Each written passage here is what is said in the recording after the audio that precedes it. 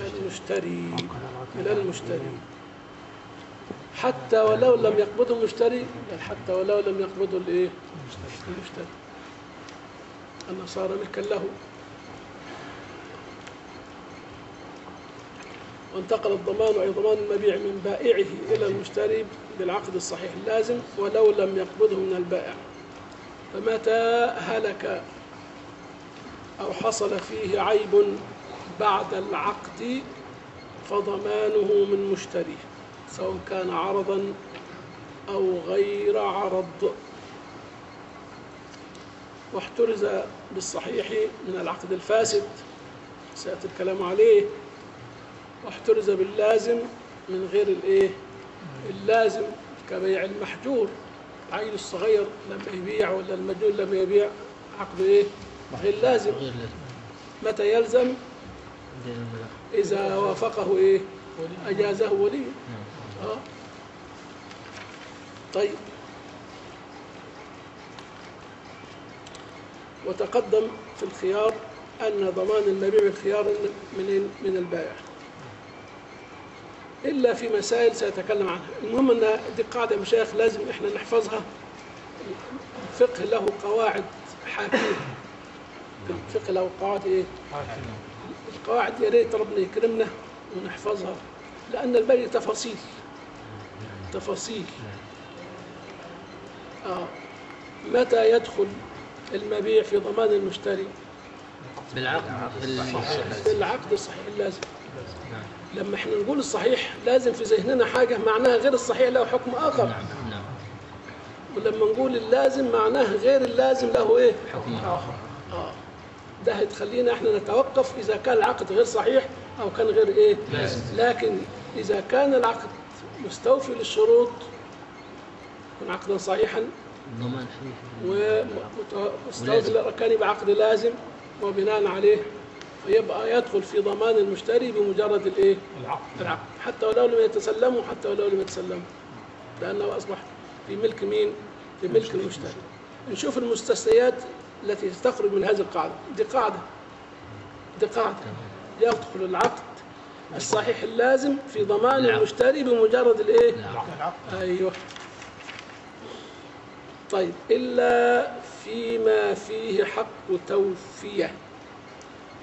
إلا ما فيه حق إيه؟ قبض يعني إيه؟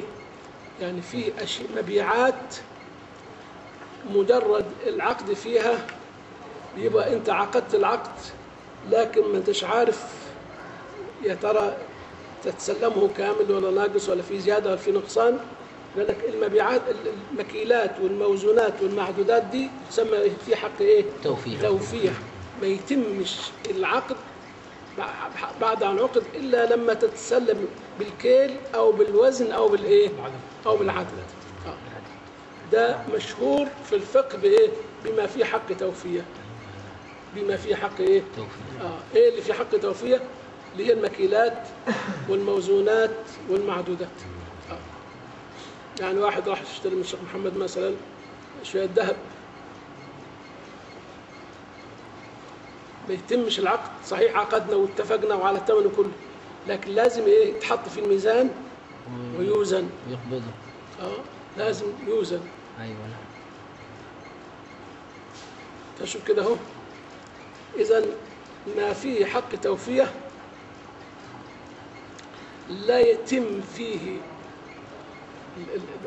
حق توفية تكملة للقبض. تكملة لإيه؟ للقبض. ده ما يبقاش المشتري مسؤول عنه إلا لما يوزن الشيء الذي يوزن وإلا لما يكال الشيء الذي إيه؟ يكال وإلا لم يعد آه إذا عد أو كيل أو وزن وتسلمه المشتري في هذه الحالة يدخل في ضمان مين؟ المشتري. لكن قبل المرحلة دي يظل البايع ضامنا له. آه.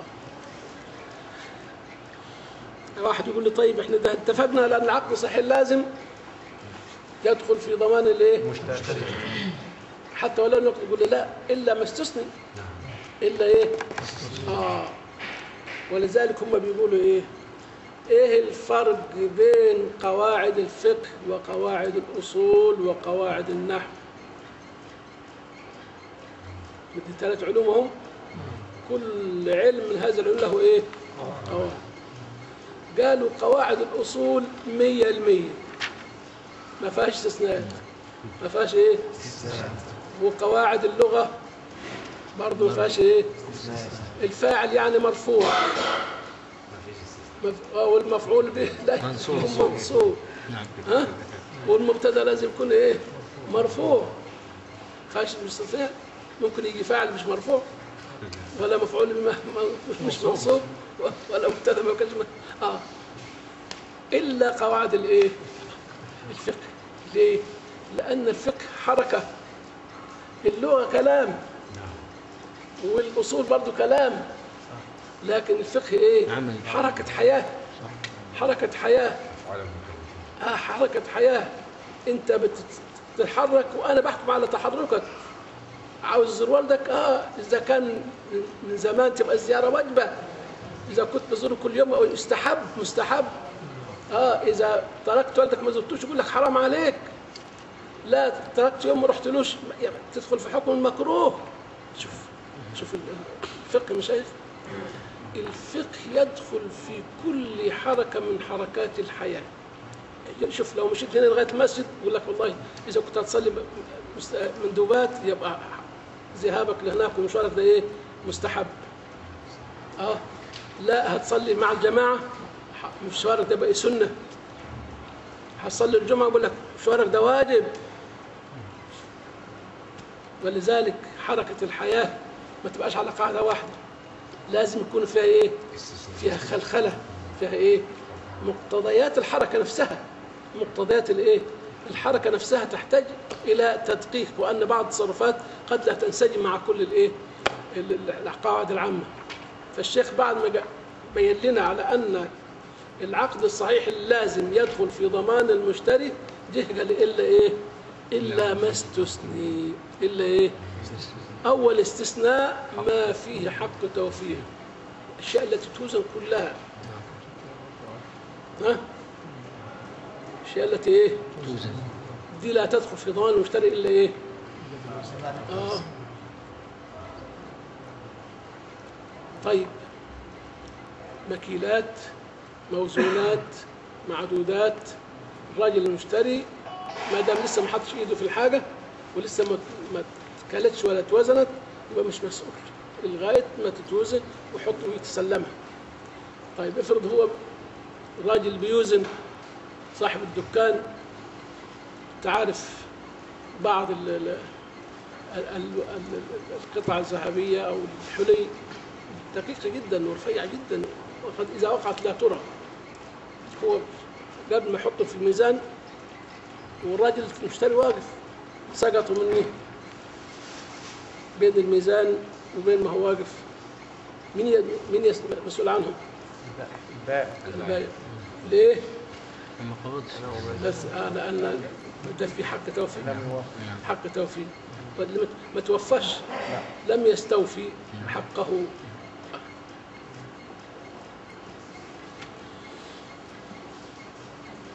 إلا ما في حق إيه؟ توفية لمشتريه وهو المثلي وبينه بقوله من مكيل أو أو موزون أو معدود فعلى البائع ضمانه لقبضه. لحين إيه؟ اللام دي لام الحين لحين الإيه؟ لحين القبض. سواء كان فرق الكيل فيما يكال أو الوزن فيما يوزن أو العد فيما إيه؟ يعد. ويستمر البائع ضامنا من بمعياره من مكيال أو ميزان حتى يفرغ في أوان الإيه؟ المشتري. فإذا هلك بيد البائع عند تفريغه في أوان المشتري فضمانه من مين؟ البائع. من البائع. يعني أنت شوية السمسم ولا شوية الحاجات الدقيقة جدا دي في الحبوب. دقيقة جدا. أنت بتفرقها وقام اتدلقت منها شوية في الأرض. السمسم من الصعب تجميعه كما كان. آه ده دقيق جدا. في حاجة اسمها الم- الملوخية الحاجات اللي أي نعم دي، آه. صح. قالت انت كبايع ضامن لغايه ما تحطها له في الايه؟ في الأواني بتاعته. بعد ما توزنها وتحطها له في الايه في الاواني بتاعته. الحالة دي يبقى ضمان من المشتري آه ضامن المشتري لا قبل ما تحط في الاواني بتاعته من البائع آه. طيب.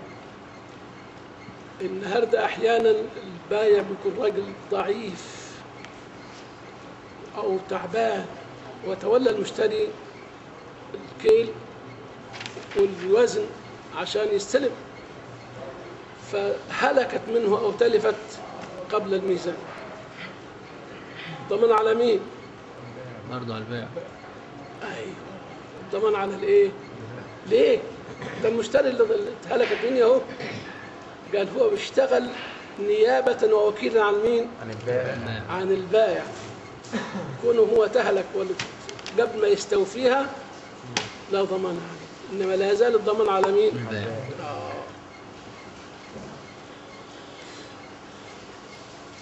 شوف كده يا سيدي بيقول فإذا هلك بيد البائع عند تفريغ ضمان البائع قال ابن رشد اتفاقا الحتة دي ما فيهاش خلاف خلاف ولو تولاه أي تولى كيله أو وزنه أو عده المشتري نيابة عن البائع. يبقى عليه هو الضمان بقى. آه. أيوه. على البائع. نعم بائع البائع. نيابة لأنه بيشتغل بالنيابة عنه. أيوة. اي اي هو عليه الضمان. آه نيابة عن البائع. فلو سقط من الميزان أو من المكيال أو غصب. آه. لكان ضمانه مين؟ من من البائع. البائع بخلاف ما لو كاله البائع أو نائبه وناوله للمشتري فسقط من يد المشتري. خلاص بقى. أو هلك من المشتري فضمانه مين؟ من المشتري. لأنه قبضه أن قبضه قد تم باستيلاء مشتريه عليه وليس نائب عن البائع في هذه الحالة. أظن الصورة واضحة الآن. واضحة نعم. ها؟ لازم ما في حق توفية.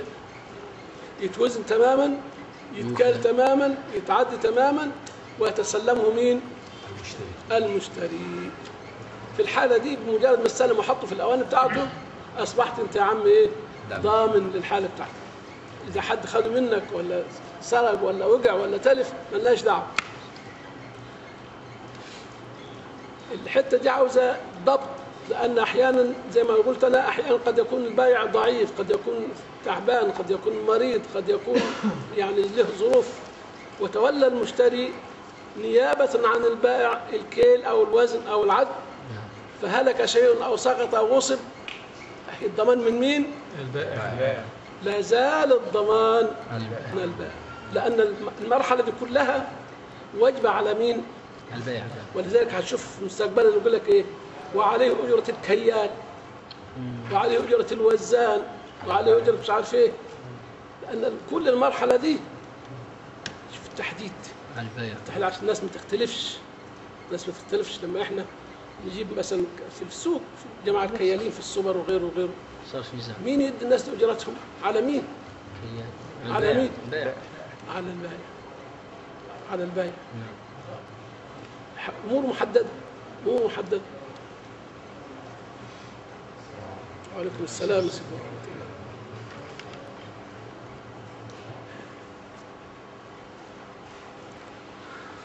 الله وأعلم الشيخ بيقول وأعلم أن الصور هنا أربع صور الضمان في حالة الميزان وقبل الميزان أربع صور أو كيل أو قبل الكيل أربع صور انتقال الضمان. أن يتولى البائع أو نائبه الوزن أو الكيل ثم يأخذ الموزون أو المكيل ليفرغه في ظرف المشتري فيسقط من يده أو يتلف. في حالة الميزان أو الكيل وسقط أو تلف قبل أن يفرغه في أواني الإيه؟ ضمانه من مين في الحالة دي؟ البائع. من البائع. واضحة دي؟ واضح نعم طيب. الثانية مثلها برضو يتولى هو أو نائبه الكيل والوزن والعد ولكن الذي تولى تفريغه في الظرف هو المشتري نيابة عن مين؟ البائع آه. ولكن الذي تولى تفريغه في الظرف هو المشتري فضمانه المشتري لأنه حين أخذه من الميزان أو المكيال يفرغه في ظرفه. أخذ من الميزان مش قبل الميزان خلي بالك مش الصورة اللي إحنا اتكلمنا عنها من قبل إحنا وزننا بس صاحبنا خده منين؟ من على الميزان. من على الميزان. أيوه فضمانه في المشتري فقد تولى آه الميزان المشتري فقد تولى قبضه فضمانه منه. أيوه قال ابن رشد أيضا باتفاق في الصورتين. مم. نعم. ونازعه ابن عرفة في الأولى بوجود الخلاف فيها. الخلاف والله مش يعني مش مش ظاهر في الأولى لكن على حال ابن عرفة الثاني يمكن. ابن عرفة يعني ابن عرفة. ممكن يكون خلاف الثاني يا مولانا يعني. ها؟ قد يكون خلاف الثاني مش في الأولى يعني.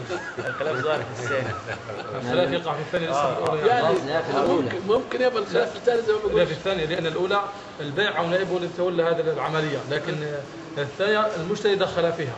أي فهنا الإشكالية. ممكن. آه. أما الأولى فأمرها واضح يعني. عندك أنت لا عندك أنت. هو ابن عرفه قال في الأولى. المفروض المشتري ما يمدش إيده على الميزان. يستنى لغاية ما يخلصها له خلاص يحطها له في علبة يحطها له في كيس. آه. ما يتدخلش المشتري لكن يا مولانا إيه؟ الفرق بين الصورة هذه وبين الصورة السابقة اللي أخذنا قبل هذه؟ هيجيبها الشيخ أهو. هيجيبها.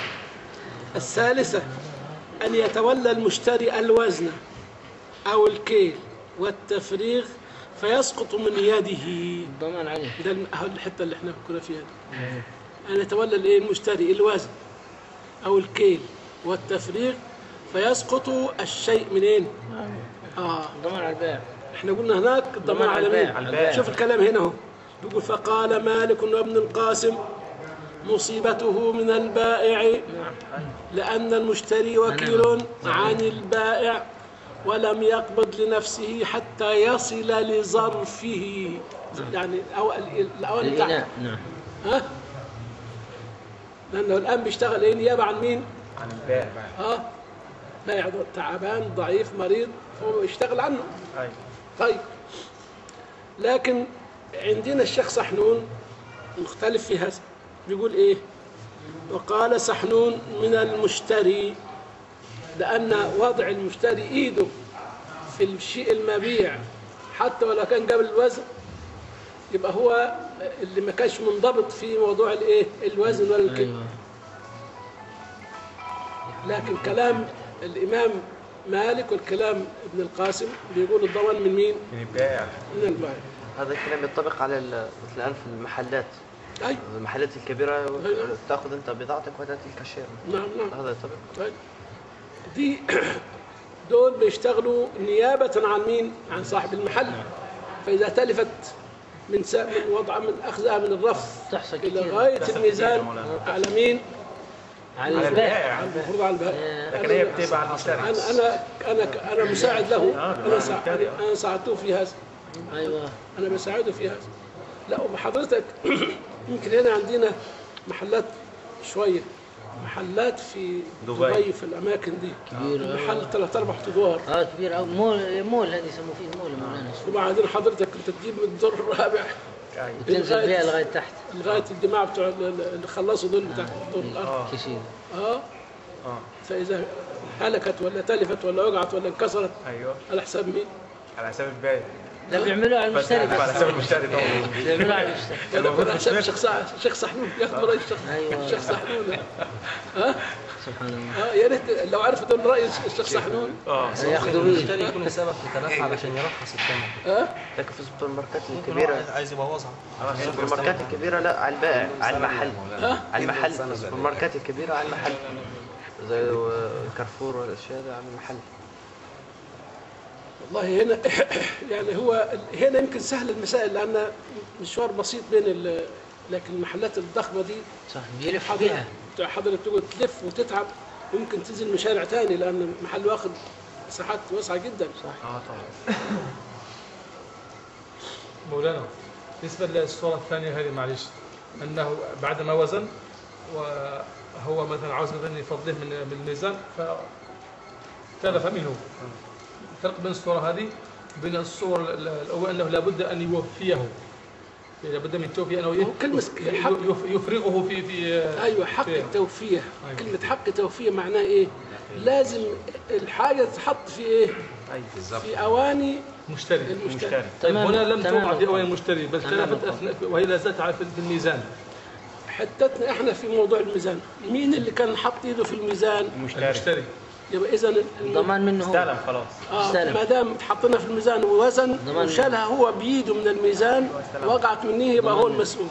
حتى لو كان بإذن هل, البائع. هل هذا كان بإذن البائع هو ولو؟ لا لا لا شوف قبل مرحلة الميزان يا حبيبي. لا بعد بعد. شوف قبل مرحلة الميزان لغاية ما تتحط في الميزان على البائع على البائع خلاص. اتحطت في الميزان. المشتري. يشيلها من الميزان وقعت منه يبقى على حساب مين؟ مشتري المشتري. لكن التوفية هنا لا زالت ناقصة ليه؟ لأنه لم يضعه في متاعه. هو اللي خده بنفسه من تركها هل, هل, كان يعني. بأمر من البائع أم أنه بنفسه؟ لا بنعرف تختلفش ما لا بتفرقش. تختلف. ما بتختلفش لابد من التوفية حتى يضعه في شو قال الشيخنا قال لابد أن إيه واستيلاء المشتري عليه. يعني استيلاء تام يعني. شوف شوف, شوف, شوف العبارة. ولكن الذي تولى تفريغه في الصرف هو المشتري. أيوه. يبقى الضمان منه هو. ها؟ ولكن الذي تولى هو إيه؟ المشتري يبقى المشتري. الضمان منه. هو قبل الميزان اشترط المشتري على البائع إن هو اللي هينقي ينقي ده حاجة تانية. بس. هنا بقى لو حصل لا لا لا. حد ين- ينقي ما ينقي. لكن المهم إن هو البايع لازم يكون عنده عمال ياخدوا من الحاجات اللي ينقيها يحطوها له ويودوها له على الإيه؟ الميزان. عشان برضو المسائل دي تبقى محددة. محددة. الآن إحنا فعلا لو حصلت حاجة في هذه الأمور من الصعب إنك أنت تقول على مين؟ صعب. صعب من الصعب. لكن بعد دراسة هذا الكلام نقول والله قبل الميزان مين اللي كان يتولى العملية؟ البائع مثلا. آه. سهلة الآن. حددت مين اللي يتولى الضمان؟ يعني لو هو بينقي وتلفت منه أثناء التنقية برضه على البائع. مين؟ هو المشتري. بينقي يعني في الأول لسه البيع. لا هو في حالة التنقية لو وقعت يا ترى هل كان مهمل مثلا في المشتري؟ هل كان يعني ي- ي- ي- يشيل الحاجة ويحطها بنوع من الإهمال؟ لأن المسائل دي برضه تحتاج إلى تدقيق. هو وكيل هنا برضه مولانا هو وكيل برضه ولذلك إحنا بنقول مثلا دايما المشتري يشير إشارة دون أن يضع يده. صح. أنا عاوز الحتة دي وأنا عاوز دي وأنا عاوز دي وشيل دي آه عشان أنت لو سقطت حاجة أو تلفت تبقى أنت مش مسؤول آه. دلوقتي قلنا إذا كان الو- الشيخ رحمه الله بيقول إذا كان ال- البائع ضعيف والمشتري هو الذي أخذ مثلا فلنقل قوطة مثلا طماطم أخذها ووزنها نيابة عن عن البائع ووضعها إلى أن يضعها في شنطته البائع هو الضامن أيوه. والصورة الثانية بيقول يعني أخذ الطماطم والبائع وضعها في ال في ال ميزان. في الميزان.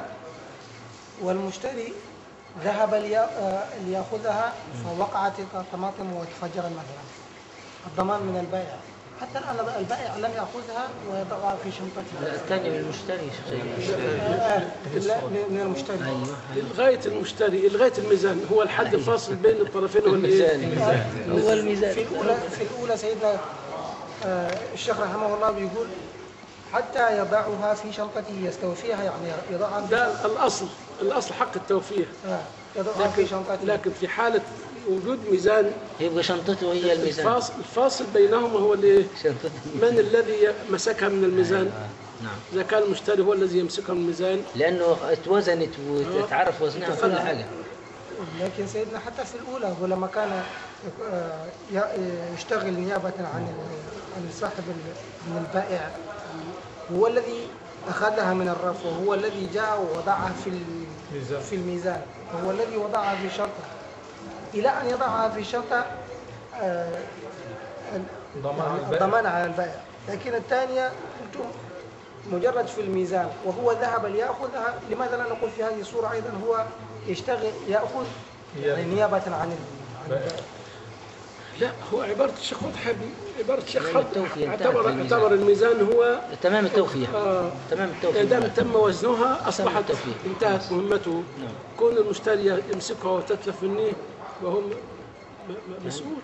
نعم. كأنه قبضها. كأنه قبضها. شوف كده هو. مسألة الشيخ صحنون نقولها تاني. نعم. أن يتولى المشتري الوزن أو الكيل والتفريغ فيسقط من يده. فقال مالك وابن القاسم مصيبته من مين؟ البائع. من البائع. لأن المشتري وكيل عن البائع ولم يقبض من نفسه حتى يصل إليه لظرفه آه. وقال سحنون من المشتري. وكيل. في الأولى الأولى وكيل في الأولى. مراحل ما قبل وكيل. الميزان. دي مراحل ما قبل الإيه؟ الميزان. أيوه. يعني في الأولى سيدنا هو وكيل وفي الثانية هو قابض لنفسه؟ نعم. في الأولى هو وكيل والثاني هو قابض لنفسه؟ في اي في اي صوره لما قال آه، الثالثة أن يتولى المشتري الوزن و آه،. المش- المشتري الوزن أو الكيل والتفريغ فيسقط من يده فقال مالك وابن القاسم رحمه الله مصيبته من البائع. آه، في هذه الحالة هو وكيل المشتري. وكيل. وكيل تمام. وبتاع سيدنا سحنون رحمه الله هي هو كأنه أخذ لنفسه. يعني ما دام وضع إيده معناه إنه بيتصرف هو بنفسه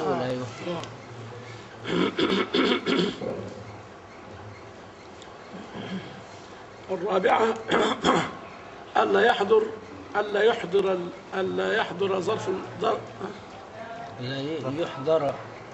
ظرف المشتري. أو ألا يحضر المشتري ظرفه. أيوه لا يحضر المشتري. ها؟ وإنما يحمل ذلك في ظرف البائع. بعد وزنه أو كيله يعني جه الراجل. يشتري الغلة ولا القمح ولا ال- نعم. ليس معه ظرف. قلنا له إحنا ممكن تأخذ الظروف دي تحط فيها وبعدين ترجعها لنا تاني آه. طيب وإنما يحمل في ظرف البائع بعد وزنه أو كيله ليفرغه في ظرفه ببيته. مثلا فيسقط منه أو يتلف. فضمانه من مين؟ ليه؟ لأن قبضه بعد الفراغ من وزنه قبض لنفسه. هذا التعليل ينفع الأولين ولا ها؟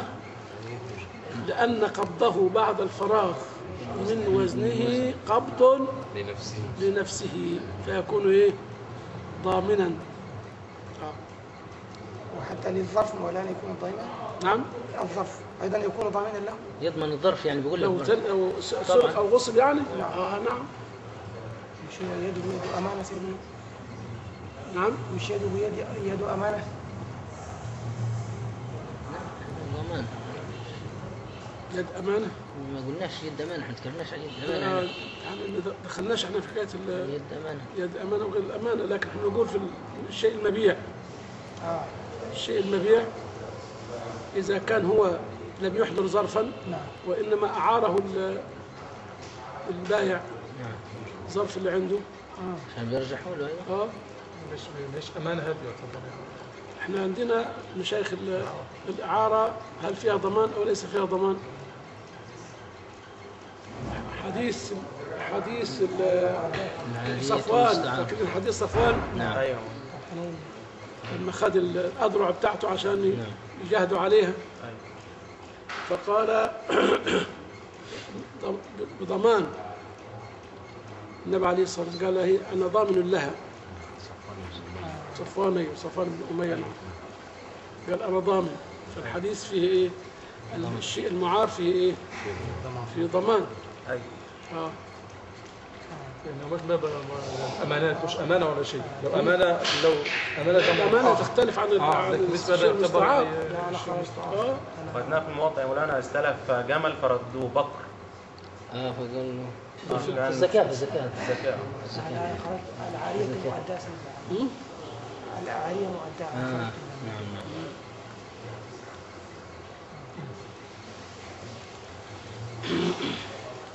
ويجوز له بيعه بذلك قبل وصوله لداره. ده إيه تعليل ليه يا مشايخ أيوه. لأنه قبض بنفسه. قبض. للمشتري تحميله الإيه؟ الضمان. لأن أنت ما دام في ضمانك يبقى تنفع تبيعه. من حقك تبيعه. تبيعه، حتى نعم. ولو لم يصل إلى ذلك إلى ذلك. حتى لو كان في ظرف البائع لو هو قبضه من هنا. حتى لو كان في ظرف البيع نعم. نعم. أو لا حتى لو في الميزان. أي ويجوز له بيعه بذلك قبل وصوله لداره. وليس فيه مشكلة بيع الطعام قبل قبضه. ها؟ لأن التوفيه خلصت بالقبض. إحنا عندنا في مذهب مالك بالذات بيشددوا في حتة إيه؟ طعام بيع الطعام قبل قبضه. قضية كبيرة دي لأن المذاهب الأخرى تجعل تلف الشيء قبل قبضه أو بيعه أيا كان. أيوه. أيا كان ممنوع. ممنوع. كان دار ولا إن كان آه، عربية سكة حديد ولا إن كانت تاكسي ولا إن كانت آه. المالكية بيقولوا لا هذه القضية خاصة بالطعام بس. ولذلك عندهم يجوز بيع السيارة قبل قبضها مثلا. ما دام أنت عقد صحيح لازم عندك. يجوز بيع الدار قبل قبضها لأنك أنت عندك عقد صحيح لازم بها إلا الطعام.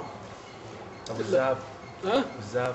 لا ده في نص خاص بالنسبة لل لا قبل الذهب قبضه. ها وها؟ هذا ما فيش كلام. أنتوا يا- الذهب ربنا مشدد. ربنا مشدد عليهم دول. آه. لا الذهب والفضة دول إيه؟ إلا هاء وهاء أشد الأشياء وكأن ال- الإسلام بيدع فواصل عشان كل واحد يعرف مسؤوليته. حتى لما يبقى بالفلوس دي مولانا نفس الحكاية. نعم نعم نعم. بيبيعوا ويشتروا عندنا يا مولانا بالتليفون من غير ما يشوفوا الحاجة خالص. يعني يبيعوا الطن من غير ما يشوفوه ويشتروه من غير ما يشوفوه ويكون يتباع برضه من غير ما يشوفوه. هي هو ده الواقع. بالتليفون. آه والله يا مولانا. وإلا ما تمشيش الأمور لو ما عملش بالتليفون،. آه. ما, ما تمشيش الأمور ولا لو ما عملش بالتليفون ده. اشترى الطن آه. وباعه من غير ما يشوفه من غير ما يشوف. يا. مولانا ده الضمان على مين ده؟ ما يقبضوا ولا حاجة. ولا ولا قبض ولا شيء. بيقبض الفرق فقط. آه نعم نعم نعم. بيقبض الفرق. هو انت عارف. الحكمة في هذا إيه؟ ليه المالك. المالك شدد في موضوع الطعام بالذات؟ قال لأن أك يعني 99% من الأحاديث واردة في الطعام. أيوه مولانا الحديث الوحيد اللي ورد عام وده بتأويل ابن عباس. نعم طيب نعم بس لما وأرى كل شيء قرأ- حديث. يعني آه بيع الطعام قبل غد قال إيه ولا أرى كل شيء إلا مثله. إلا مثل الطعام. يعني لا يجوز بيع أي شيء قبل الإيه القبض يعني هو اللي عمم آه. فالامام مالك لم يأخذ بت- بتفسير ابن تفسير ابن عباس. عباس. وانما اخذ بالإيه؟ ليه؟ لأن الحكمة ظاهرة. الحكمه إيه؟ ظاهرة. لأنك أنت لو بعت حتى 100 عربية آه. قبل قبضها مفيش مشكلة هتحصل في البلد. لكن لو بعت القمح قبل قبضه ولا الدقيق قبل قبضه تحصل مش مشاكل. تلاقي تأكل الناس. مشاكل آه. ليه؟ لأن كل الناس تأكل. لكن ركاب العربيات اللي بيركبوا عربيات كم واحد يعني؟ مليون؟ مثلا في القاهرة فيها 14 مليون. في س- 13 مليون اخرين ما. بيهمهمش حكايه العربيات دي. أيوه. بيعها قبل قبضها ها؟ فشوف الحكمة. أيوه. آه. إلا إلا الطعام قبل القبض. مش إحنا ما عملناش كده مولانا ظهر الكلام ده في السودان في مضاربات القمح. القمح عندهم غالي بسبب المضاربات على على اسعار القمح كده وما آه. بتظهرش في الأسواق. تتباع من مخزن لمخزن من غير ما الناس وده. المشكلة ده دي. ده الحتة اللي كانت تخوف الإمام مالك قال لك حق. لا تبايعه التجار وهو في مخازنه صحيح مولانا. ولا يراه العامة أيوه فتسور عندهم الخوف من الجوع هو ده اللي حصل آه. ولذلك قالوا برضو الحديث حتى ينتقل حتى ينتقل من بيع من السوق إلى إيه؟ إلى سوق. إلى رحله. مم. الناس يشوفوا الطعام ماشي في الأسواق أيوه. وماشي في الطرق. يبقى مطمئنين يطمئنوا لكن وإلا تبايعه التجار في وهو في مخازنه أيوة. الناس يشعروا بالهلع. حضرتك أنا جربت الحكاية دي في حرب سنة 67 كنت أنا مدير في المخابز في منطقة اسمها منطقة الويلية. حوالي كان عندي مش عارف 12 مخبز يمكن أنا كنت مسؤول عنهم المهم قامت الحرب والناس سعروا. كل واحد عاوز يطمئن إلى أنه يخزن أكل أسبوع عنده في البيت. طيب فين المخابز اللي تكفي كل البلد مدة أسبوع؟ في في يوم واحد. والناس مش واخدة احتياطها للبلد يعني آه. المخابز كنت أنا واقف في مخبز مخبز البربري جار والويل علاش؟ اللي هو في طريق آخر شارع. باب الشعريه لا لا في الحدائق. آه في الحدائق. مدخل الحدائق. طريق.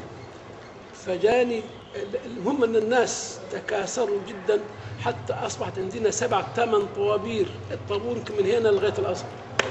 حاجة رهيبه خالص رهيبة خالص.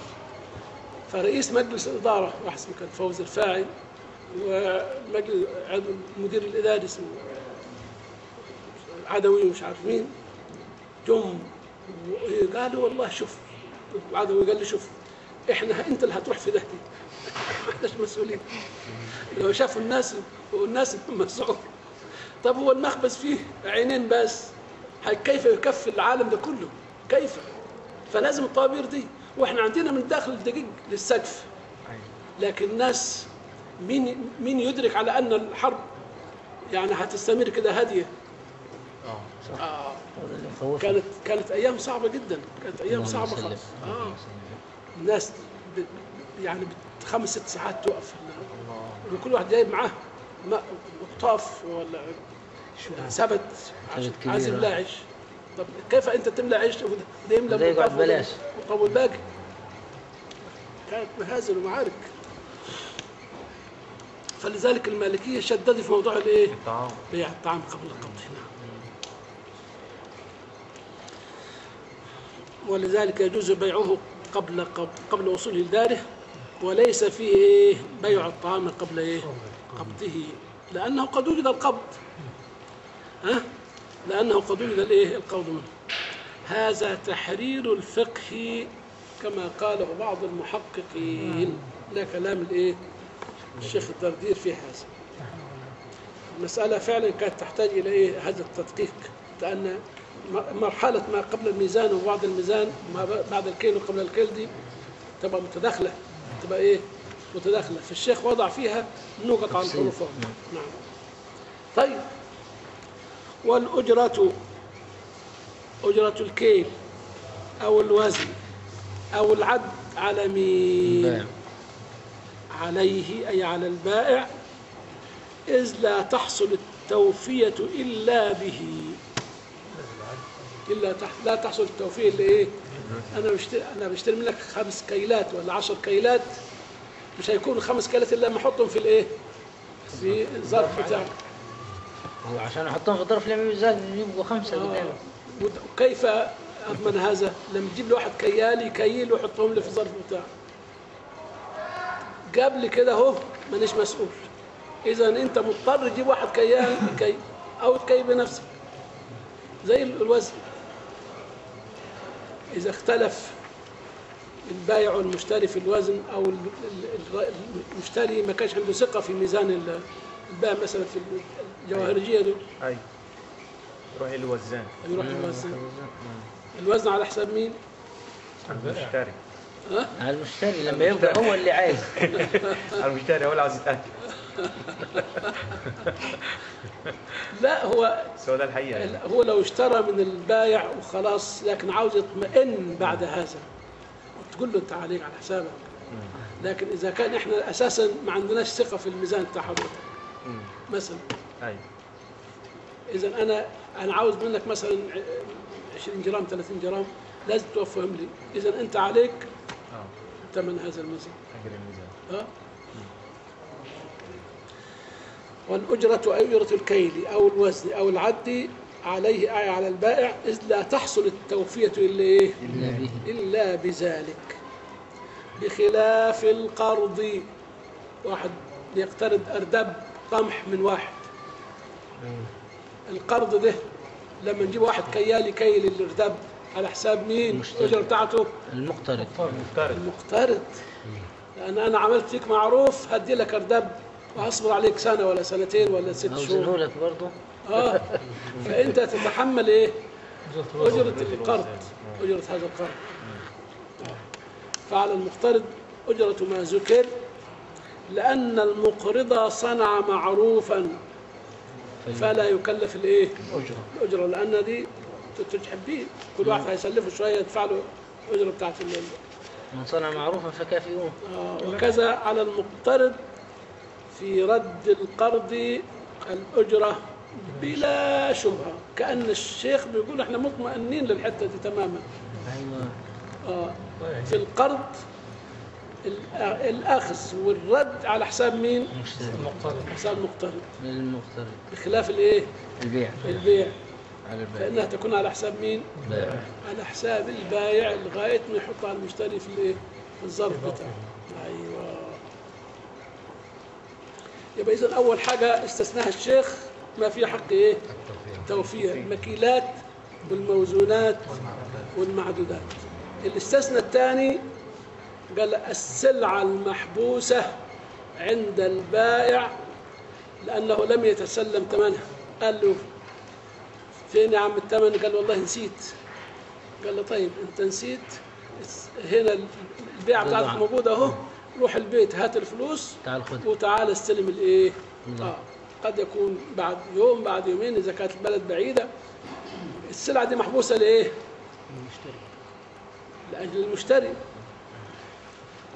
و ال- محبوسه مقابل الايه الثمن لسه ما لسه ما تسلمهاش. آه. طيب. دي ضمانها هيكون على حساب مين لو تلفت خلال المرحلة دي؟ مع البائع طبعا على البائع نعم. حبسها عليه آه. لا تدخل. السلعة المحبوسة إلا في إيه؟ في ضمان البائع إلا بالإيه؟ إلا بالقبض. نعم أيوه. وكذلك المبيع الغائب على الصفة أو على رؤية متقدمة. إذا تأخر فيه ثمن ضمان على البيع. ضمانه على مين؟ بائع. على البايع حتى الإيه؟ يعني أنا اشتريت منك س- سيارة كنت شفتها السنة اللي فاتت أو مثلا من شهرين ثلاثة. وعارف وصفها تماما. واشتريتها منك ولسه ما قبضتهاش تقبضها بعد يوم بعد يومين بعد ثلاثة.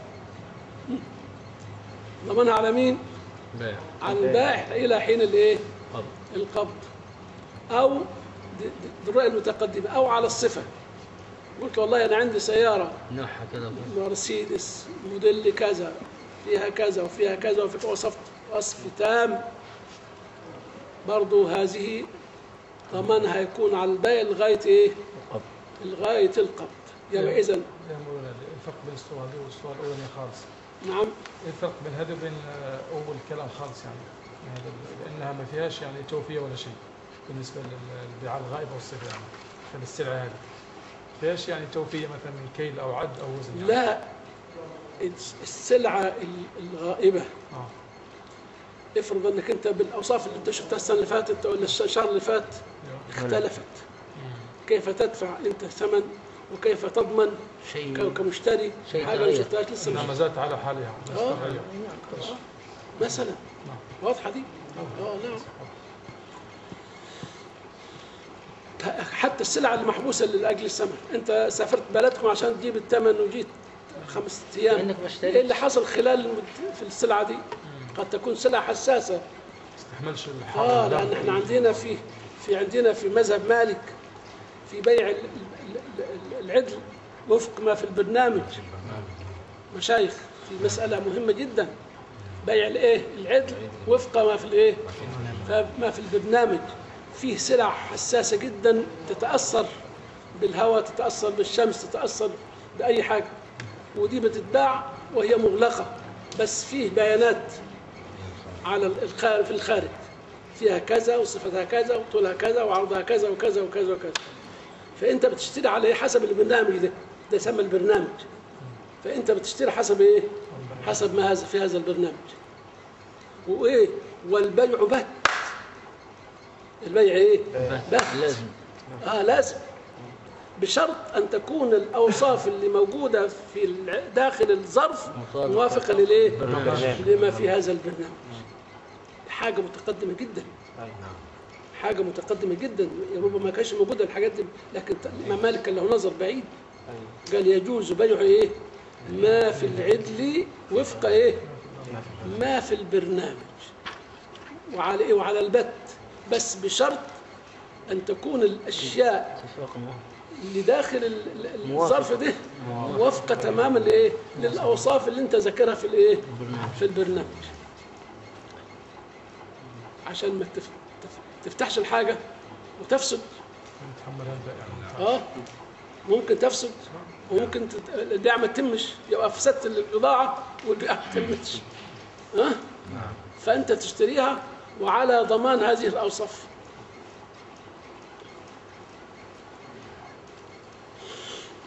آه، بالنسبة لل- للتأخير مثلا آه، كان المفروض مثلا يستلم البضاعه مثلا في أول الشهر.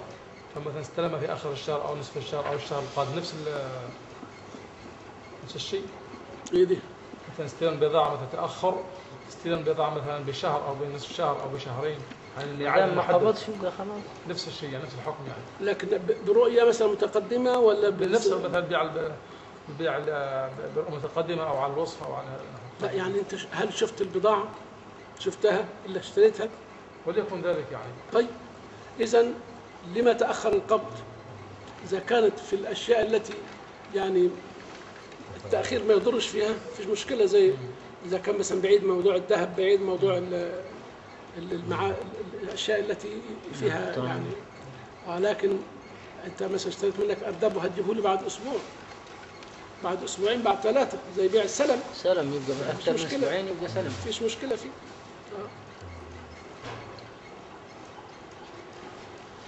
لا أنا قصدي من ناحية إن المشتري يتأخر في قبض السلعة يعني. ما قبضش. السلعة. هل يدخل في نفس الشيء هذا؟ مش بناء على اتفاق بينهما؟ لا لا هو تأخر من نفسه مثلا لظروف ما الله أعلم بحاله. لكن تأخر في ال- مثلا يستلم مثلا سلعه أول الشهر فاستلمها في نصف الشهر أو في آخره أو بعد الشهر القادم. فتأخر في استلام السلعة المشتري. هلكت في- قبل ما يستلمها حصل لها اي تغير أي شيء؟ لا هنا البايع يكون مسؤول. هنا البايع يكون مسؤول نفس لأنه الصورة يعني. آه البايع يكون مسؤول. آه. لكن سيدنا لو ال- المشتري تهرب من الضمان. في أيضا في هذه الحالة يكون البائع مسؤول. تهرب إزاي من الضمان؟ يعني دلوقتي هو ذهب ووجد الطريق مش آمن مثلا إلى إلى بيته. فهو قال ما دام هكذا الأمر أنا سأتركها عند المخزن بتاع البائع وبعد شهر ممكن يكون آمن. هذه هو ما أمانة. خدهاش هو. حتظل أمانة عند خدهاش البايع ولا أنا ما قبضهاش برضه. هذه تظل أمانة عند البايع تظل أمانة وت- وتأخذ حكم الأمانات. أه؟ بس هو ما قبضهاش عشان عشان تبقى ملكه هو يخليها أمانة ولا مش أمانة ولا؟ لا هو ما دام خرجت عن لا هي سلعة محبوسة لأجل الثمن ولا هي سلعة محبوسة لكونها بيع ب- آه لا. اذا دي بيعة خالصة وخد الثمن بتاعها. التأخير اذا من على حساب مين؟ التأخير من من جانب المشتري. آه فهي تعتبر عند الراجل ده أمانة. إذا هلكت يبقى هو المسؤول عنها. ما دام في هو لا هو أحيانا مثلا مثلا لو مثلا مثلا الثمن مثلا يقولوا إيش؟ آه، خذ السلعة واعتبر ثمنها قد وصل يعني.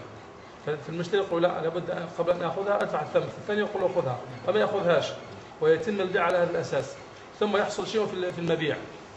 الصورة هذه هل كون مثلا أن المشتري أنه تسامح في قبض الثمن ولكن عفوا البائع تسامح في قبض الثمن إلا أن المشتري هو الذي رفض استلام السلعة فتدخل في ضمانه بهذه الصورة أم أنه ما تدخلش ما دام أنه لم يدفع الثمن بعد. يعني هو لم يدفع الثمن من باب إيه؟ ليس معي ليس معه الثمن الآن. لكن البائع تسا- تسامح معه في هذا فقال خذها وادفع ثمنها بعد ذلك مش مشكلة يعني. اعتبر الثمن قد وصل وهذا موجود في السوق يعني. يبيع بالدين. ما فيش مشكلة. والله شوف إذا كان التأخير من باب المعروف يا مشايخ. إحنا عندنا التأخير إذا كان من باب صنع المعروف. أيوة معه. بيحصل ما فيش مشكلة كثير في السوق. كتير ما فيش مشكلة إذا كان من باب المعروف. لكن إذا كان له مقابل في الثمن مقابل زيادة أو نقص في الثمن. ده وضع اخر لا في في هذه الصورة مولانا. لو أنه آه، هو رفض استلام السلعة قال لا لابد أن آتي بالثمن. ثم في الفترة هذه قبل أن يجيء بالثمن حصل شيء للمبيع. تلف حصل أي شيء. في هذه الحالة الضمان على مين؟ على المشتري أم على البائع؟ لكن وزن؟ وزن كل حاجة. خلاص وزن على حساب المشتري؟ المشتري آه. نعم حتى مش محبوس القاعدة اللي. أنتوا جبتوا الشيء للناس ليه يا شباب. الناس بتبقى صايمة. في ناس هتبقى صايمه مين اللي قال لك صار الناس الناس هذا الشيخ. بس ماله؟ علمي الثمن يكون مقسط على كذا على عدة. أي أي قسط أي. وبعدين ال- الملكية هتكون بعد ما يدفع آخر القسط وفي هذه الحالة يعني إذا كان حصل شيء هتضمن لا الت- الحتة دي في نظام التقسيط المعروف في مصر. نعم. قبل المرحلة قبل الأيام دي العصر ده ظهر حاجة جديدة. أيوة. أنت اشتريت ثلاجه وعلى سنتين على ثلاثة مثلا على أربع سنين. مفيش مشكلة فيها. إذا حصل فيها أي عيب ولا غلط على حساب المشتري لأن خلاص استلمها وبيدفع ثمنها على على صوت إنما هو الآن في حاجة اسمها البيع أو البيع آه، البيع. البيع بالتمليك الش- الشركة ال- ال- الإيجار المنتهي الإيجار المنتهي بالتمليك آه نعم. الإيجار المنتهي تمليك إيه الإيجار المنتهي بالتمليك واحد عاوز يشتري بيت. بيت. معاش ثمن معي 10000 بس والبيت 100000 يقول له طيب هات ال 10000 اللي معاك وادخل معي شريك في البيت. انت بالعشر وأنا بإيه؟ ب 19 وبعدين ادفع لي كل شهر مثلا 500 جنيه. أنا هاجرك البيت من الآن بكام؟ مثلا ب 100 جنيه ب 200 جنيه. دي اجاره مستمرة. و- وبالاضافه إلى 500 جنيه هتدفعها إيه؟ كل شهر. كل شهر. كمان. أي؟ حاجتين يعني. أي؟ يدفع حاجتين. 500 جنيه. ك- ك- كشراء جزء من البيت وال 200 جنيه دول كإيجار. فأنت حت- هتنقص الإيه؟ الاجاره كل شهر شوية. لأنك أنت بدل ما كنت تاخذ ب 10000 هتاخذ ب 10500 بعد الشهر الأول. بعد الشهر الثاني هتاخذ بإيه؟ 11 11000 وبعدها 11000 ونص. إذا الإيجار هينقص حسب زيادة ملكيتك أنت في الإيه؟ في العقار. آه الأول كانت ب 200 بعدها ب 190 بعدها ب 180 وهكذا. ده بيسموها إيه؟ الاجاره المنتهي بالإيه؟ التمليك بالتمليك. ده يحتاج إلى عدة عقود عشان يصح هذا العقد. لازم يكون عقد مشاركة موجود. وبيع وإيجار. ولازم يكون هناك عقد إيجار موجود. موجود نعم.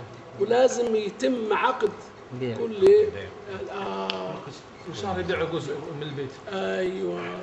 عشان كده ما كانش تتم هذه الإيجارات كلها يبقى العقد فاسد. نعم. ما يصحش. ولأن الصورة اللي بيجيبوها دلوقتي بيقول لك هو اللي بيدفع الإيجار نفسه اللي بيدفعه هو ده اللي بيص- يصير به مالكا في نهاية المدة. ممكن نزود الإيجار. أيوه هو زود الإيجار. آه ممكن أيوه نزود الإيجار. يقول مثلا أنت بتدفع كام مثلا؟ 500 تدفع 1000 500 جنيه. مثلا 1000. في الشهر. ادفع 1000 أيوه نعم. كل شهر هننقص لك جزء منين؟ من الملكية بتاعتنا تضاف لملكيتك أنت. في. في نهاية المطاف بس في ينفع في الفقه كده ولا تبقى ملكيتك؟ الجزارة. يعني لا هو مشاركة في من الملك. ناحية من ناحية مشاركة الشركة في الملك. من هي. مشاركة في الملك. هي مشاركة في الملك. نعم نعم.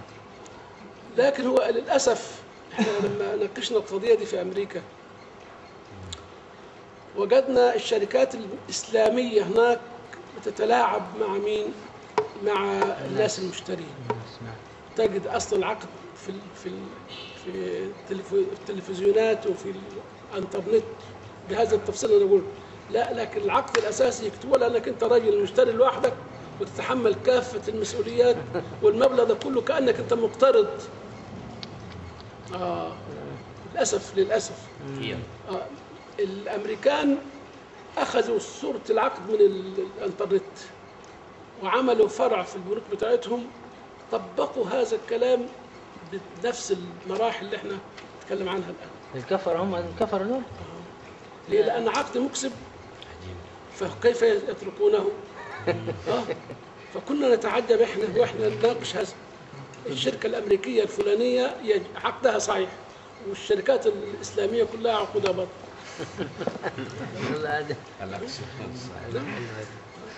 هو الآن ال- ال- بالطريقة هذه ما فيش عقد بالطريقة هذه موجود الان في السوق ده موجود. لا لا لا ده, ده هو في. القانون من زمان. القانون موجود من زمان. لكن إحنا عشان عايزين كنوع من.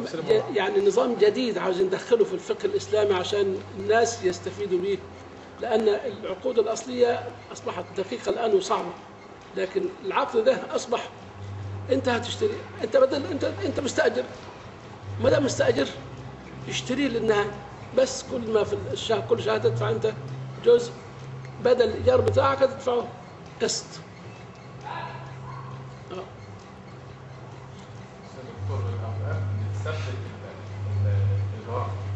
على مدى 40 سنة أو 30 سنة. مم.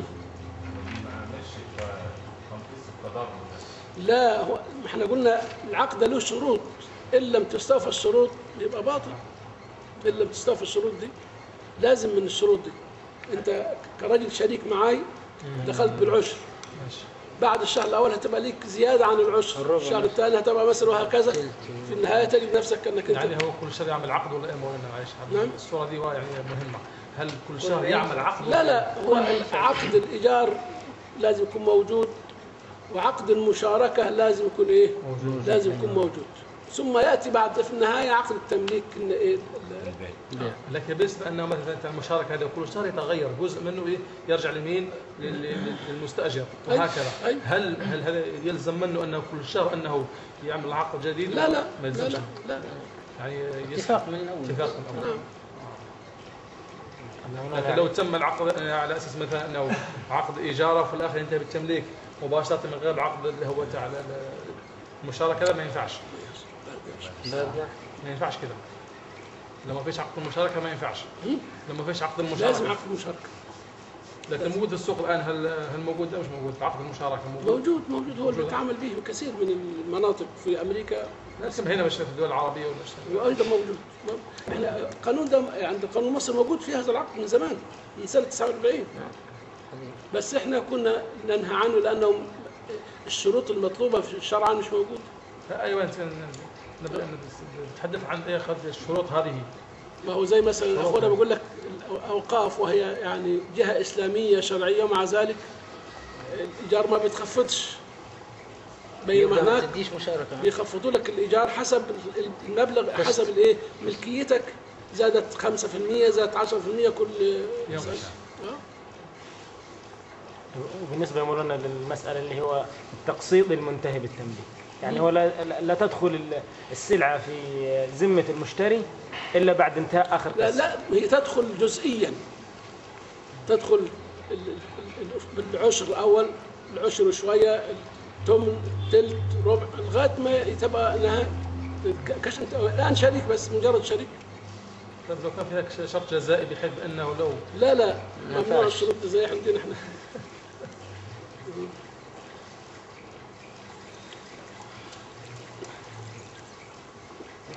مولانا أثناء فترة حبسها في انتظار الثمن. هل البائع مطالب بأنه يظل يحبسها حتى لو تأخر عليه المشتري؟ يعني هو ذهب قال له بعد يومين سأعود لك بالثمن. وانتظر وحبس السلعة عليه فتأخر. هل البائع مطالب أنه ينتظره يحبسها عليه؟ أو حتى في خلال اليومين لو جاء؟ لو كان في تحديد ممكن تحكم له مثلا بمذهب الحنبلة نظام العربون. لازم يدفع جزء لازم نظام العربون آه وإلا لو حبيت تطبق الفر- الفقهاء الآخرين يلزمه العوض لأن السلع خلال يومين بتنقص أو تزيد. ما بيتحمل التعويض. المشتري. يحكم, يحكم له بالتعويض نعم. في عقد الإيجار المبدئية بالتمليك هل ال- ال- ال- ال- المستأجر لو دفع مثلا نصف المبلغ هل له أن يمنع الشركة من التسوي في نصف العقار مثلا؟ هم بيضعوا إيه؟ مع بعض اتفاق أنك أنت إذا ما تأخرت قسطين أو ثلاثة إحنا هنبيع نصيبنا. إحنا كشركاء معك إحنا شركاء لنا 80% هنبيع نصيبنا إن ما كنتش أنت توافق بال آه تزن هذا الشيء. لو دفع نصف المبلغ مثلا عن طريق الإيجار آه. هل له أن يمنع آه من حقه. نعم نعم. لازم يكون في اتفاق على هذا. اتفاق على كلمة لا تتصرفوا بالبيع ما دام أنا ملتزم بالاقساط دي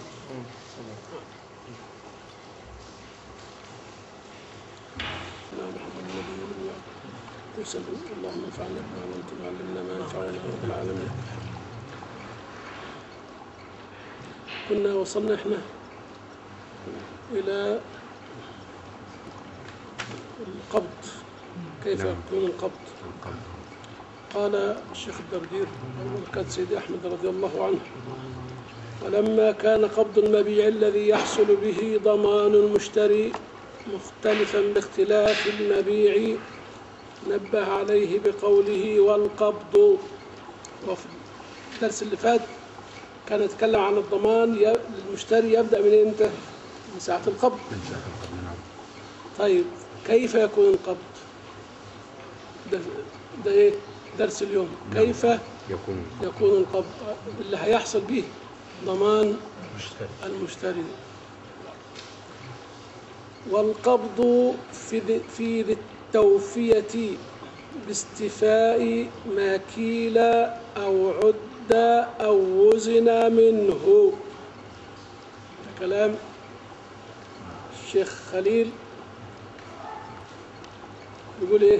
والقبض في ذي التوفية باستيفاء ما كيل أو عد أو وزن منه. يعني المثليات التي تكال. أنواع الغلال والأرز وده وده وده كله ما يكال. أو يعد في الأشياء التي تعد تكون متساوية. وتعد زي أنواع البيض وأنواع الليمون وأنواع الفاكهة آه. عد أو وزن منه في أشياء توزن من المثليات. كل ده القبض فيه يكون إمتى؟ باستيفاء المشتري للمكيل والموزون والمعدود.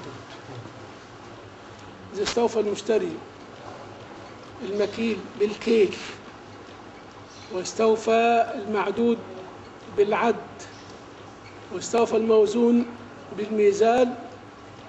أصبح من اللحظة دي هو إيه؟ ضامن للمبيع.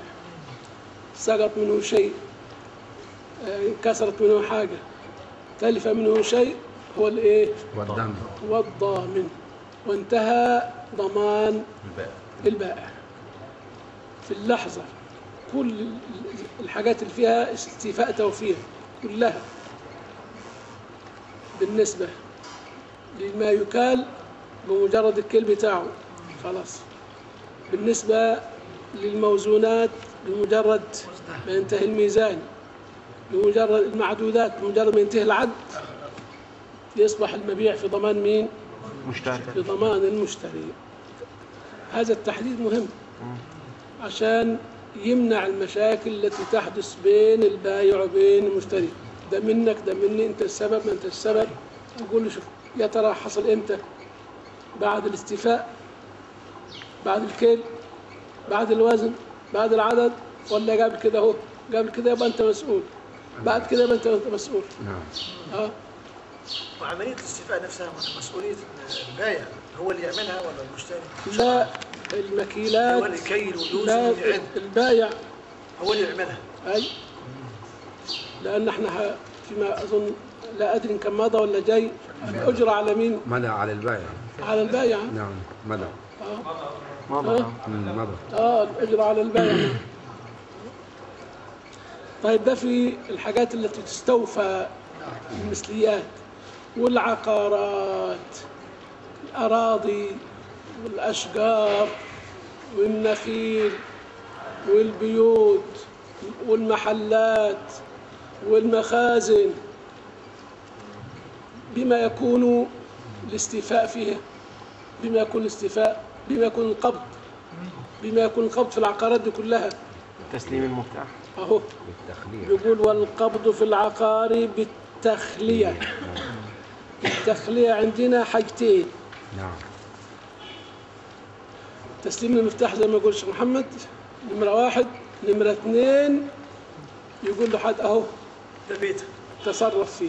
كسر وخش تصرف. دكانه قدامك مخزن قدامك ده قدامك البيت قدامك. آه. طيب. افرض فتح له الباب وصاحبنا احتفظ بالمفتاح. بايع أيوه. تفضل البيت مفتوح أهو. دكانه مفتوحه حط المفاتيح في جيبه. وش إيه آه. يبقى إذا التخليه لم تكمل؟ لم تكن صحيح. ها تك... ليه؟ لأن إحنا قلنا اثنين. إن كانت ذات مفتاح يسلموا الايه المفتاح وبعدين يقول له اتفضل آه. طيب الراجل بتاع المخازن لسه عنده كم شوال في المخزن موجودين ولا عنده مثلا بعض الأشياء في المخازن موجودة؟ هل هذا يحول دون تمام القبض. قالوا لا المخازن العادة بتبقى حاجات كتير يبقى في حاجات بسيطة موجودة دي ما تأثرش في الإيه؟ في القبض. كذلك مثلا المحلات التجارية هو ممكن يزيد كل البضاعة لكن فيه أشياء مثلا موجودة زي الارفف زي ده زي ده. اذا العقارات التي فيها أشياء كثيرة جدا وتبقى موضوع التسليم فيها بياخد وقت. قالوا بمجرد ما يسلموا المفتاح ويفتح له يقول له اتصرف هذه حاجتك أهو. يبقى انتهى الايه القبض. بخلاف السكن. بخلاف الايه السكن. السكن. السكن ده لازم من الإخلاء التام. لازم إيه؟ الإخلاء التام. آه ما يسيبلوش حاجة في البيت. كل شوية يقول له عايز أشوف الحاجة الفلانية. يسموها مسمار جحا دي. ها؟ آه. والله عن إذنك بس الحاجة اللي سبناها امبارح عايزين بس نطمن عليها. آه. وسبحان الله شوف كل منهم بتعبير خاص. قال والقبض في العقار بالتخليه والقبض في دار السكنى بالإخلاء. شوف التفرقه في التعبير يا مشايخ. نعم. ها؟ تفرقة في التعبير. ها؟ في العقارات غير دار السكنة بالإيه؟ بالتخلية. والعقارات بتاعت السكنة في إيه؟ بالإخلاء. معناه الإخلاء لازم يكون تام في دار السكنة. الإخلاء لازم يكون فيها إيه؟ آه. لأن من الصعب أنك أنت يسلمك الباب مفتاح البيت وبعد شوية يجي لك هو مراته ولا عيله وأنت تكون جبت مراتك وعيالك في البيت. عاوز يشوف الحاجة اللي إحنا سبناها امبارح اللي عايزين نشيلها مثلا. آه. لكن المخازن والمحلات الأخرى ممكن ما فيهاش مشكلة مشكلتها يعني. نعم؟ مطروقة أحيانا آه نعم نعم. وفي دار السكنى آه والقبض في العقار وهو الأرض متصل بها من بناء أو شجر. ده, ده تعريف ال- العقار عندنا في مذهب مالك. الأرض وما اتصل بها من بناء إيه؟ كلمة عقار. إذا أطلقت كلمة عقار في مذهب مالك المراد منها الأرض وكل ما يتصل إيه؟ بها. مباني وأشجار وبساتين ومزارع وده كله يعتبر إيه؟ عقارات. طبعا ده يختلف الأجزاء الأخرى يختلف تعريفها. بعضهم يعتبر المباني بس عقار وهم يعتبر الأرض بس لكن مذهب مالك الأرض وما اتصل بها من مباني وأشجار ومزارع كله يعتبر إيه؟ عقار. عقار. آه.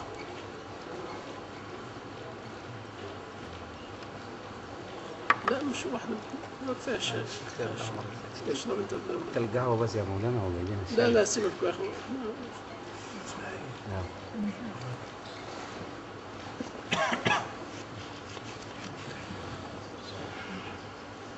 شوف أن يخلي بينه وبين المشتري ويمكنه من إيه؟ من التصرف. وإن لم يخلي البائع متاعه منه إن لم تكن دار سكناه. بالنسبة للمحلات والمخازن وغيره يكفي الإخلاء العام. لو وجد حاجات هذه لا تضر. لكن دار السكنى المطلوب من الإيه؟ الإخلاء لمتاعه منها ولا يكفي مجرد التخلية. ها؟ شوف التعبير ولا يكفي مجرد الايه؟ ما يقولوش اهو إحنا شلنا الحاجة ويروح بعدين فيها لسه حاجات موجودة في السكن. أنا عاوز أجيب مراتي وأجيب أولادي. هدخلهم زاوية كل شوية تقول أنا عاوز أشوف الحاجة جوه ولا عاوز أخرجها تاني. سلموا المفتاح ونظف له الدار نهائي بحيث ما حدش يسك- من أهلك ولا شيء من متاعك يكون موجود في الدار. ده بالنسبة لإيه؟ لدار السكنى طيب عرفنا في ذي التوفية وفي العقارات. قال والقبض في غير ما تقدم من العقار. وذي التوفية يختلف من حال إلى حال. بالنسبة للحيوان والعروض العروض اللي هي الثياب والأدوات كلها طبعا عروض. حسب العرف اللي جاري في البلد. بعض الناس لما تروح تشتري لك بقرة من السوق حينما يقول لك الله يسهل لك. يقوم مسلمك الإيه؟ يسلمك حبل البقرة عشان تشدها بك. ما دام سلمك الحبل خلاص أصبحت البقرة منين؟ من اللحظة دي أنت مسؤول عنها وضامن لها. هو انتهت ضمان. آه. طيب أحيانا أنا خلاص باركت لك. ودي البقرة عصاية كده من الخلف. مع السلامة. آه أو يا عم أهو سبناها لك السلام عليكم. يبقى اذا في أنواع الحيوانات والعروض. إذا وجد عرف نظام معين في البلد نعمل به ما فيش عرف يبقى اذا أي شيء يدل على انتهاء التعاقد بيننا وتسلم المشت... البايع للثمن يعتبر إيه؟ هذا قبض آه. من حيوان معروض يكون بالعرف كتسليم الثوب. أنت بتشتري ثوب من. تسلمه لك أو استلام زمام الدابة من مالكها. أو سوق الدابة. أو عزلها عن دواب الاخرى أو انصراف البائع عنها. هذه مجرد أمثلة. مجرد إيه؟ أمثلة للحيوانات والعروض والأدوات وكل الأشياء المنقولات. المنقولات يكون القبض فيها حسب الإيه؟ العرف. إن لم يكون عرف مستقر ومعروف في البلد يبقى إذن آه، كل ما يدل على آه، استلام يكفي في يكفي في الايه القبض. دول الثلاث صور في موضوع الايه كيفية الايه القبض يقولهم تاني القبض في ذي التوفيه من المكيلات والموزنات والمعدات دي بانتهاء الكيل بانتهاء العد انتهاء الوزن ينتهي الايه القبض. بالنسبة للعقارات فيه سكنى وغير السكنى غير السكنى يكفيها إيه؟ تخلية تخليه بالنسبة لدار السكنى الإخلاء. لابد فيها من إيه؟ غير ذلك حسب الإيه؟ العرف. نعم. يا حبيبي. لما بنزل لك تفاح بنحطه في كيس وبنبيعه. هناك آه بمجرد ما حط الفلوس واستلمه في إيده آه. لكن حضرتك أنت حطيته في الكيس واترمى منك في الأرض الحتة اللي هتروح الحاجة اللي هتروح منها على الباقي. على الباقي يعني لغاية ما تسلموا الحاجة في إيده بالنسبة للحاجات التقليديه لما بنستورد بنستورد مثلا حاجات من بره نعم. وتمشي في الطريق على مين بقى؟ على البايع لغاية حضرتك ما تتسلمها أنت. يعني على الدولة اللي هي مصدرة آه نعم نعم. حتى تتسلمها. كده كان في عرف. لو تلفت منه في الدكان فعلى البايع. حاجة هو في لا ده في حاجة تانية. بعض الشركات العالمية تقول لك يعني أنا غير مسؤول بمجرد خروجها من باب الشركة. الشركة. فجوه الشركة مسؤول يعني. آه؟ حتى لو كانت في إيدك. فمجرد تسلمها أنت من باب الشركة تبقى أنت مسؤول. آه. حتى لو هو يقول لك داخل الشركة لو اتكسرت منك لا هو شوف شوف. المسائل دي مشايخ مبنية على إيه؟ العرف والشرط في غير ما منصوص عليه. إذا وجد عرف أو شرط في كيفية القبض يعمل بإيه؟ بالعرف أو الإيه القبض لا ما فيش. الشارع وضع قواعد. في ذي التوفيات بمجرد الإيه؟ الاستيفاء في المكيلات والموزنات والمعوزات. في العقارات في دار. السكنة وغير دار السكنة وفي غيرها حسب ما يجري في الإيه؟ العرف. في البلد. نعم. بس المشكلة مش هناك. المشكلة في ال- المشكلة في الضمان. أما إحنا ما هنتكلم عن أهمية القبض. هنا أو كيفية القبض مهمتها إيه؟ تحديد. مين الضامن للحاجة أيوه دي. تمام. آه. هو كده هو يعد قابض هو خد حاجته خلاص وماشي آه. تعثر في في الشعور واتكسر البتاع لا ملناش دعوة. هم يقول لك بقى لا هو ما دام انت عندنا في لسه ما دخلتش ما طلعش من المحل يبقى علينا إحنا. مع إنه خلاص انتهى القبض وكل حاجة والسلام عليكم. هو ماشي رايح بيته. طالع من المحل كده لسه ما طلعش من باب المحل ما دام اتكسر لا لا لا لا. فيضمن. شوف حبيبي هم عاملين على نفسهم. إذا كانت في الموزونات والمعدودات والمكيلات بمجرد تمام الاستيفاء أيوه. بالعدد أو الوزن أو الكيل يعتبر هو إيه؟ صاحبنا قابض وأي حاجة توقع مني يبقى هو إيه؟ مسؤول طب ولو صاحب الشيء صاحب المحل ما هو اداها تفرض- اداها له بدلها اداها له لا. بدلها لما وقعت منه في المحل لا لا لا. لا لا لا. ياخدها ولا ما ياخدهاش؟ لا حضرتك أنت مثلا اشتريت شوية قزاز أدوات زجاجية من محل وسلمتهم لعيالك وأنتم طالعين والعيال اتعثروا في بعض ولا اتعثروا في وانكسر الزجاج الإشارة جوه. مثلا مين المسؤول؟ هو. المشتري. يقول لك ما دام اتكسر عندنا هنديك بدال. ياخدها ولا ما ياخدهاش؟ يعني البائع هيدي عن تراضي يا مولانا مثلا. نعم. البائع هيدي عن تراضي اتضايق بنفسه وأنا يقول اتكسرت عندنا خلاص عن. والله هو يعني إذا كان راجل يعني هذا فضل هذا يعتبر كرم فضل. من باب المعروف يا مولانا. آه هذا من باب الفضل والكرم. معروف شاري أصلا آه لكن مش كرم. لكن إذا كان ما فيش هذا العرف موجود نحتكم إلى ما قال الإيه؟ الشارع. الشارع. الشارع بيقول في ذي التوفية كله بالإيه بالاستيفاء. تمام الاستيفاء. نعم. في العقارات في بالتخلية في الساكن بإيه. بالإخلاء. سلم يا مولانا. سلم. أهلا وسهلا. خليك قاعد يا مولانا. خليك خليك موجود يا صلى الله عليه ما وسلم. ينفعش. لا والله ما ينفعش. والله أنا مش عارف كلام عن جزئية أخرى في قضية البيع والتجارة يقول إيه؟ وتلف المبيع وقت ضمان البائع بسماوي بسماوي مبطل للعقد. يعني إحنا قلنا في مرحلتين ما قبل الاستيفاء وما بعد الإيه؟ الاستيفاء. إذا تلف المبيع بسماوي قبل الاستيفاء يعني أنت اشتريت البيت لكن لسه ما استلمش المفاتيح بتاعته ولا أخري بينك وبينه وجت صاعقة نزلت على البيت أو نزلت مطر شديدة وهدمت الإيه؟ البيت البيت الآن من ضمن مين؟ ضمان البائع ها؟ في ضمان البائع آه. وتلف المبيع وقت ضمان الايه؟ البائع يكون من إيه؟ بسماوين بشرط. شرط. لأن هنتكلم فيما بعد إذا تلف المبيع بجناية أحد قد نعم. يكون البائع قد يكون المشتري قد يكون حد ثاني لكن إذا كان التلف السلام ورحمة الله. إذا كان التلف بشيء سماوي قبل التسلم قبل ال- ال- القبض فإن يكون هذا إيه؟ انتهاء للإيه؟ للعقد مبطل للعقد. كأننا لم نعمل شيئا. مشتري فلوسه في جيبه أو يأخذها يستردها ثاني من البائع والبائع يخلف عليه ربنا في الإيه؟ في الشيء المبيع.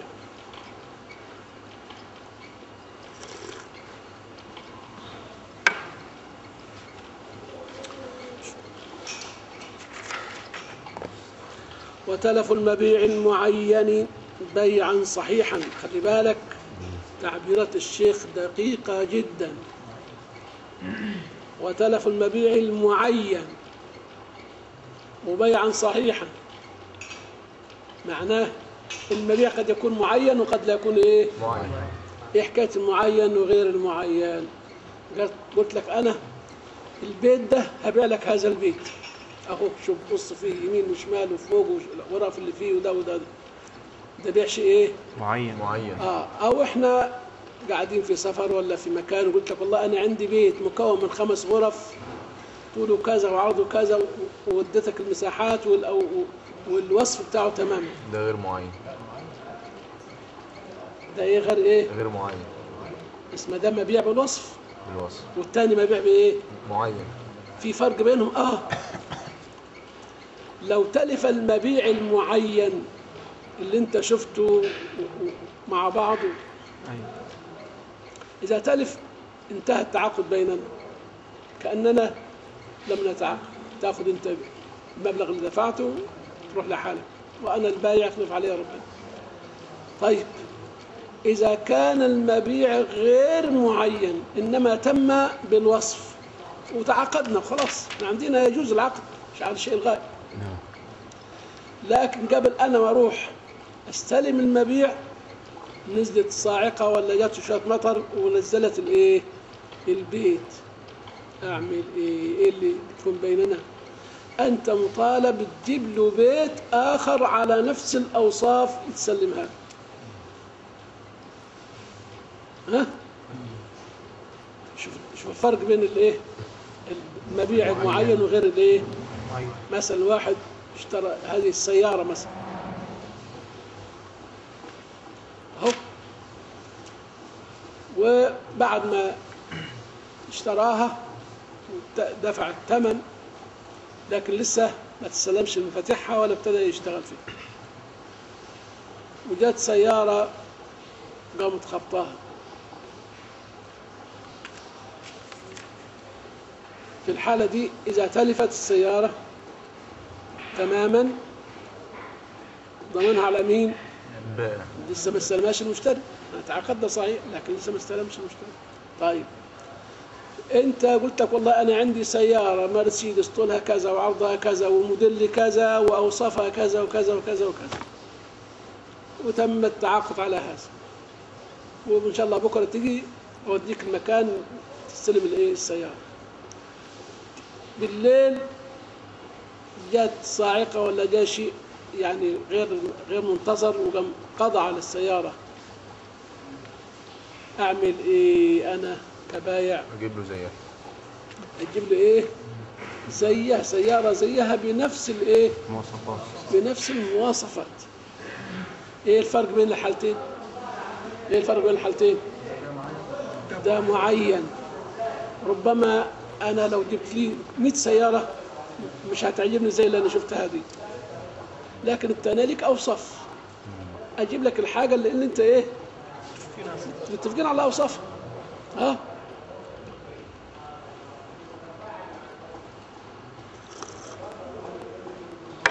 ممكن يرد له المال يا مولانا؟ نعم. ممكن يرد له المال؟ بالنسبة لا. لا. عقد لازم نعم. شوف كده الكلام. خليكم معي وتلف المبيع المعين. بيع المعين أهو بيعا صحيحا. وقت ضمان البائع له لكونه فيه حق توفيه أو كان يعني حصل التلف وقت إيه؟ الوقت اللي كان البائع فيه ضامن. الوقت اللي كان فيه البائع إيه؟ ضامن. ضامن. آه. كان في حق توفية أو كان غائب أو ثمار قبل أمن الجائحة أو في عهدة الثلاث أو أي أو مواضعة. بسماوي أي حصل التلف بإيه؟ سماوي بأمر سماوي أي بأمر من الله تعالى لا بجناية أحد عليه مبطل لعقد البيع فلا يلزم البائع الإتيان إيه؟ آه، بخلاف أهو بخلاف ما إذا كان موصوفا متعلقا بالذمة متعلقا بإيه؟ كالسلم كالإيه؟ إحنا عندنا من العقود اللي هي كانت غير جائزة وأجازها الشارع من باب التخفيف على الفقراء. ثم عم الحكم. بيع السلم إيه نظام السلم يا مشايخ؟ الناس الغلابة اللي بيزرعوا معاه خمس قراريط ولا نص فدان ولا فدان بيزرعها. ال- الزرع مكلف. عاوز يسقي وعاوز كيماوي وعاوز وعاوز وأنا كمان لغاية لما انتظر يجي ال- الثمار عاوز أنا آكل أنا وبيتي وأولادي ونصرف. نعمل إزاي؟ قال روح للتاجر وبيع له من ثمار هذا الزرع. اردب اردبين ثلاثة. بس موصوفة. قمح هندي قمح أمريكاني قمح استرالي ها؟ وتسلموا الثمن من الآن. الاردب ب 100 جنيه مثلا أو 1000 جنيه أو 500 جنيه مثلا. يوم ما تحصد أنت وتخلص الزرع بتاعك تسلمني الإيه؟ اللي اتفقنا عليه الاردبين أو الثلاثه اللي إحنا اتفقنا عليهم. ده بيسموه إيه؟ بيع السلم أو ما يسمى بيع الفقراء. أو المحاويج ليه؟ لأن ما, يتصر... ما يعملش العمل ده إلا مين؟ محتاج. إلا الناس المحتاجين. لأن الرجل المقتدر بيصرف من بيته من خزنته لغاية لما يجي الزرع ويبيع براحته. لكن الثاني مضطر. حتى لو كان الثمن أقل. حتى لو كان الثمن إيه؟ أقل. أقل. مضطر محتاج. فالمسألة وإن كانت أساسا أجيزت للفقراء لكن الحكم فيها إيه؟ عمل. إذا تعامل فيها الأغنياء مرحب لا ما نقول لا البيع ده مش لكم لا ولذلك الصحابة كانوا يشتروا من الفرس ويشتروا من الروم ويشتروا من الأعراب ويشتروا بنظام الإيه؟ بنظام السلم آه. فبيقول الشيخ إذا كان المبيع شيء غائب ولم أتسلمه على نظام بيع السلم وإن كان ليس سلما وإن كان ليس إيه؟ سلما. آه أنا اشتريت منك سيارة ولم أسلمها من بعد ولا شفتهاش. أو كنت من ثلاث أربع سنين شفت عندك سيارة وقلت والله فاكر السيارة الزمان اللي شفتها؟ أنا هبيعها لك مش أنا هبيعها لك بس إيه؟ أوصافها كذا وكذا وكذا. في الحالة دي يبقى لو تلفت الشيء الغائب الذي بيع قبل تسلمه ضمانه من مين يا مشايخ؟ ضمانه من البائع. طيب نعمل إيه؟ قال لازم تجيب لي حاجة زيها. بنفس الأوصاف اللي إحنا اتفقنا على إيه؟ البيع بها. خلاص. ما ينفسخش العقد؟ ما ينفسخش. آه. يعني أحكام مسلمه مبنيه على ال- ال- التلازم والصحة. آه. نعم يا سيدي. قبل هذه يعني. إن تلف بسماوي لا بجناية أحد عليه. معنى هذا التلف أنه إذا حصل تلف للمبيع بجناية أحد يعني البيع صحيح ويلزم. ما إحنا هنتكلم بعد هيتكلم هو على التلف إذا تلف بجناية. تكلف. هيقول لك يا ترى الجناية من بايع يا ترى الجناية من المشتري يا ترى الجناية من شيء من شخص يعني أجنبي آه. بس المهم الآن أنت تفرق بين إيه؟ بين المبيع المعين وغير إيه؟ غير معين. غير معين لا، المعين خلاص انتهينا وانتهى التعاقد. غير المعين أنت تجيب لي حاجة زيها. والعقد ماشي بيننا. آه. ولذلك آخر عبارة في الفقرة دي الشيخ بيقول لك فالكلام بتاع الشيخ في الإيه؟